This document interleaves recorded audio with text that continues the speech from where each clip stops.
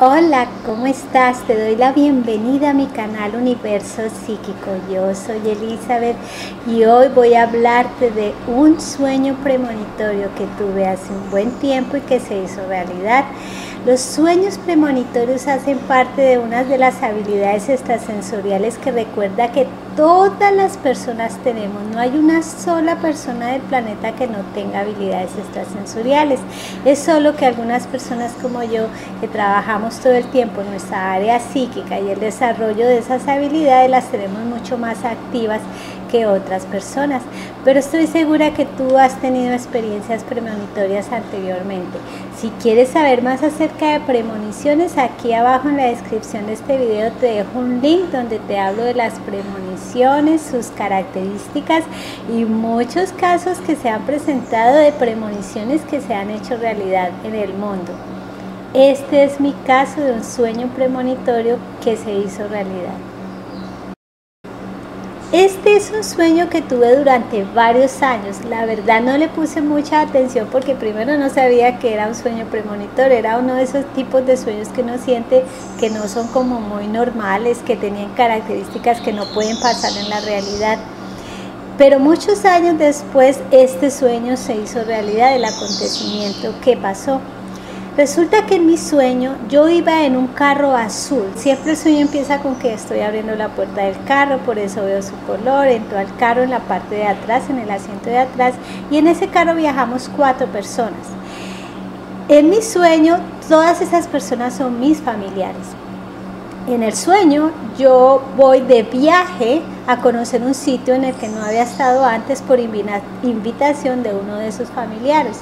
Recuerdo que en mi sueño nosotros estamos pasando por una especie de bosque o de zona donde hay muchos árboles y se escuchan el, canto de los pájaros. es una zona muy linda, llena de vegetación, de aire puro, hermosa. Y hay un momento en ese camino en el que vamos en el carro que tenemos que atravesar un puente. Atravesamos ese puente y en mi sueño ese puente no tiene lógica, no tiene lógica que esté en ese lugar. Primero porque era un lugar más bien aislado, entonces para estar un puente ahí, ¿por qué estaba ese puente allí? Y específicamente por las características del puente. El puente era demasiado, demasiado estructurado y elaborado para un lugar así. No sé cómo ocurre en las regiones donde tú has pasado en el campo, pero casi siempre cuando uno pasa en esas regiones uno ve puentes sencillos, ¿verdad? Puentes para atravesar de un lugar a otro. En mi sueño, primero que todo, había un riachuelo tan pequeñito que la verdad no tenía lógica que hubiese ese puente allí, era demasiado ancho, demasiado grande y la estructura era descomunal y hacia abajo, hacia lo profundo del riachuelo de mi sueño yo observaba, yo decía, uy, pero se nota que va muy hacia abajo la estructura y para un riachuelo tan pequeño, ¿por qué construyeron algo en medio de la nada de esa magnitud? Ese tipo de puentes por lo general uno los ve cuando se atraviesan eh, lugares muy grandes en las ciudades, las interestatales, las grandes avenidas, pero no las ve uno, como te decía, en un lugar como estos.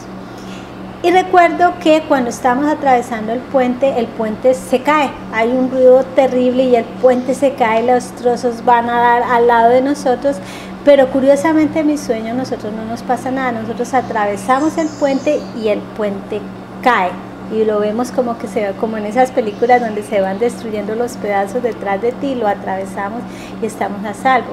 Me despierto siempre en el sueño supremamente nerviosa. Ese fue mi sueño por muchos años.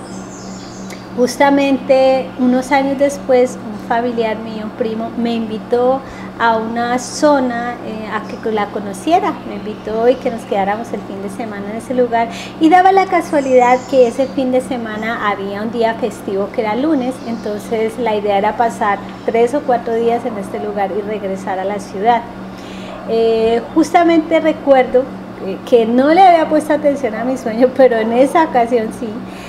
Eh, empecé yo a reconocer las características de mi sueño en el momento en que nos preparábamos para el viaje. Resulta que en este viaje eh, mi primo recién había comprado un carro azul de cuatro puertas color oscuro, entonces cuando vi el carro dije, wow, eh, este carro se parece a un carro que yo he visto antes. Nos subimos al carro, me senté en la parte trasera del carro y resulta que empezamos el viaje y es ahí cuando me doy cuenta que el sueño que había tenido durante tanto tiempo se estaba haciendo realidad.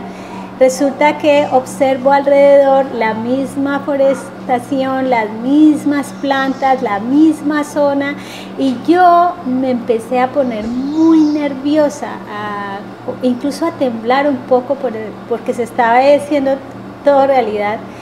Pero yo he aprendido eh, con mi proceso como psíquica que uno debe tomar primero las cosas con calma, para todo tipo de experiencias, incluso para la vida cotidiana. Y segundo, porque a veces tú puedes poner nervioso, nerviosa a una persona sin realmente saber si es correcto hacer un aviso. Eh, lo que sí pasa es que como nosotros las personas psíquicas somos muy sensibles y muy abiertas, la gente inmediatamente percibe que hay algo que no estamos bien en nosotros, ¿verdad? Nosotras. Resulta que mi primo me pregunta, ¿qué te pasa, prima? Estás sudando y estás como mirando muy nerviosa, tú eres una persona muy tranquila para viajar, ¿te sientes tensa? Le dije, sí, estoy un poquito tensa, pero me gustaría contarte lo que me está pasando cuando lleguemos al destino del viaje. Eh, por ahora prefiero no hablar. Solamente permíteme, voy a estar en silencio durante el resto del viaje porque voy a orar, voy a rezar todo el tiempo mientras terminamos el viaje. Sí, claro, así es. Y resulta que durante el trayecto llegamos al puente que te conté de mi sueño y el puente era exactamente igual al puente que yo soñé exactamente la estructura, el riachuelo supremamente seco y eso, y ahí fue cuando yo empecé a ponerme más nerviosa y yo me agarré de todas las oraciones que me sé y rece, y rece, y rece, y y pasamos el puente y no nos ocurrió nada. Gracias a Dios, gracias a ese poder superior en el que yo creo. Cuando llegamos al destino, eh, a donde íbamos y nos sentamos más tranquilamente ya en familia a conversar, yo le comenté a todas las personas de la familia lo que yo me había soñado. Entonces lo veía con qué casualidad, el mismo color de carro, el mismo puente, la misma vegetación, ¡ah, qué casualidad! Pero fíjate que no ocurrió la premonición. Y ahí es cuando viene lo interesante. Resulta, y esta parte la reservé para el final, que ese fin de semana que habíamos preparado para viajar, eh, no pudimos viajar y nosotros viajamos justamente el fin de semana antes, pero en ese caso no era un día festivo, entonces solamente nos quedamos dos días y luego viajamos y no tuve ningún inconveniente con viajar antes. Yo dejé pasar la situación después de que les conté, vino el festivo, ni siquiera le puse atención a que el festivo pasó. En fin, unos 10 días después, mi primo, que es una persona que no cree mucho en estas cosas, em, me llamó por teléfono y dijo, prima, tengo que verte ya, estás desocupada, libre, por favor, tenemos que vernos. Entonces yo le dije, claro, voy para allá, yo afortunadamente estaba libre en ese momento y fui a visitarlo a su oficina y me mostró un periódico. Me dijo, antes de que tú leas esta noticia, quiero que me cuentes otra vez el sueño que tuviste. Se lo conté. Y resulta que me dice, ¿te acuerdas que íbamos a viajar en el fin de semana donde había un festivo? Le dije, sí, mira lo que ocurrió en el puente que nosotros atravesamos. En la noticia informaban que habían pasado unos, eh, no sé cómo le dicen en tu país, aquí les dicen tractores gigantes o tractomulas, uno de esos que llevan una mercancía gigante atrás que había atravesado, habían cerrado la vía principal donde ellos solían atravesar por razones de mantenimiento y los habían enviado por una carretera adicional y que había pasado por ese puente y uno de los grandes carros que atravesaron el puente por su peso lo movió al puente y colapsó el puente. Y eso que la estructura para mí era gigante, yo la veía así y eh, hubo un accidente muy fuerte, los carros cayeron al lado, afortunadamente no hubo muertos, no hubo ninguna persona gravemente herida, porque decía justamente que el accidente podría haber sido mucho más fuerte si no fuera porque el río que estaba sosteniendo, eh, que estaba debajo de este puente, era simplemente un riachuelo, pero hablaban de lo que pudo haber pasado grave si hubiese sido un río muy grande. Efectivamente se colapsó y muchos carros que estaban tanto adelante y atrás de este carro gigante eh, se cayeron también. Ese fue el sueño premonitorio que tuve, que se hizo realidad.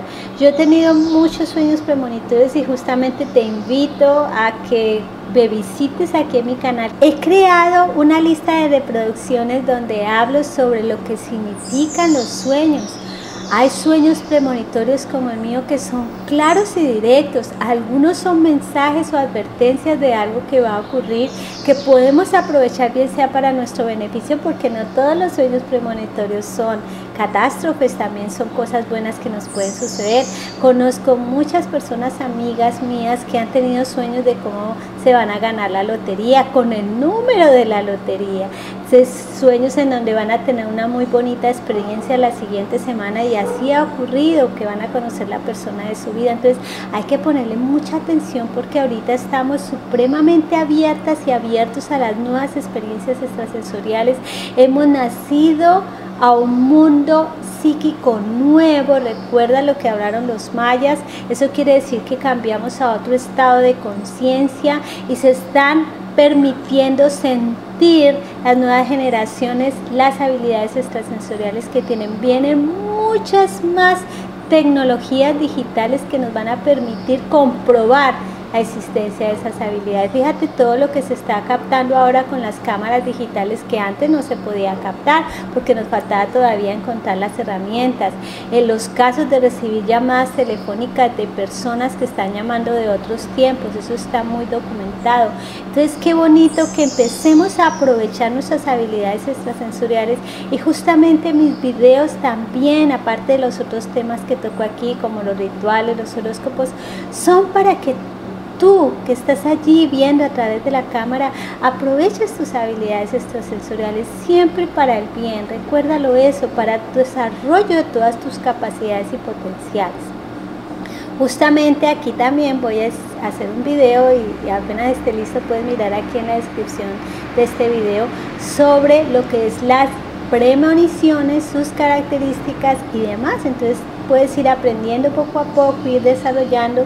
Y también tengo unas meditaciones, por ejemplo, para comunicarte con tu ángel guardián, para hacer una conexión con los elementales de la naturaleza, para que puedas hablar con ellos. Ellos también reciben muchas premoniciones, también a veces ellos son nuestros protectores y nuestras ayudas cuando lo necesitamos. Entonces fíjate cómo este universo psíquico está tan lleno de experiencias maravillosas, simplemente es que creas y vas a ver. Por eso mismo te invito a que te suscribas a mi canal porque aquí te hablo de esto y mucho más. Es muy fácil y es gratis, simplemente haz clic en el icono que dice suscribirse y listo. Y si este video te ha gustado, por favor regálame una manita con el pulgar arriba en ese icono que dice me gusta y compártelo con todas las personas que quieras y que tú sabes que les gustan este tipo de temas y pueden aprender muchísimo sobre ellos. De verdad, a mis suscriptores les agradezco muchísimo por apoyar mi trabajo. Gracias por suscribirse, gracias por apoyarme. No saben lo que significa para mí, especialmente cuando veo sus hermosos comentarios, sus palabras de aliento, las, los, las frases tan lindas que me dicen, esos, esas bendiciones, esos abrazos en todo este hermoso planeta. De verdad, muchas gracias por estar ahí. Yo soy tan feliz cada vez que veo cómo aumenta esta comunidad de universo psíquico. Estoy mil, mil, mil, mil veces agradecida con ustedes. Quisiera expresar aún más lo que siento, pero espero que sientan esta vibración tan positiva que les envío en mis agradecimientos. Les envío un beso muy grande, un abrazo gigante. Recuerden que soy Elisa. Entonces nos vemos en el próximo video. Hasta pronto.